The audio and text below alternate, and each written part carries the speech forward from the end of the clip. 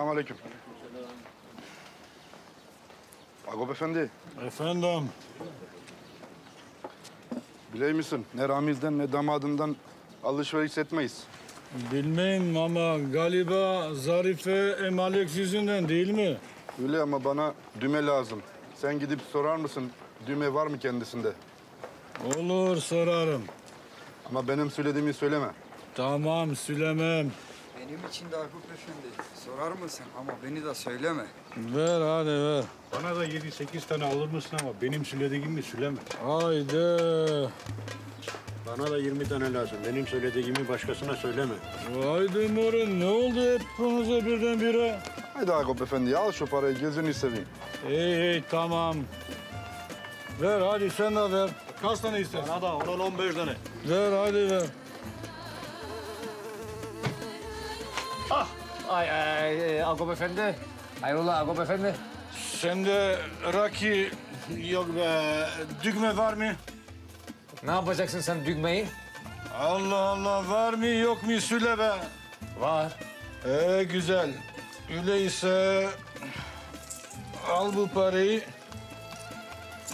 110 112 tane düğme isterim. Ne yapacaksın sen 112 tane düğmeyi? Söylemem.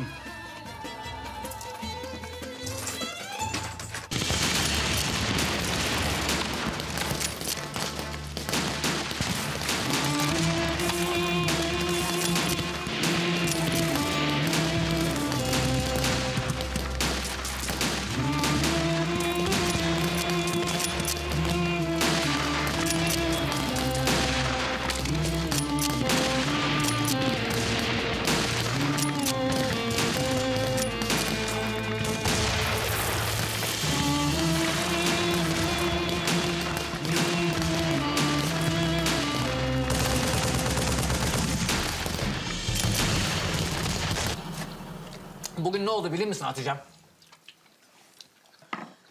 Ne oldu?